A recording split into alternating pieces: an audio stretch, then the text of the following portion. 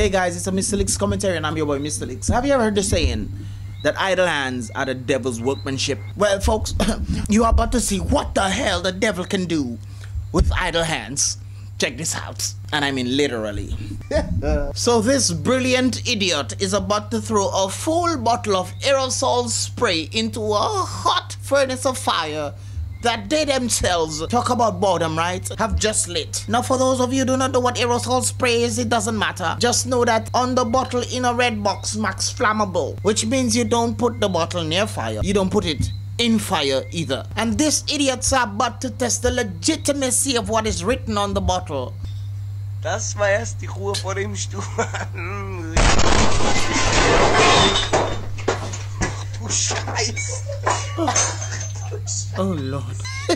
yeah, yo. Stupidity is the brains of every idiot. lord. This must be a proud moment of every parent. Anyways, guys, it's about Mystelics on a Mystelics commentary. Thanks so much for watching. If you like this video, make sure you give it a thumbs up.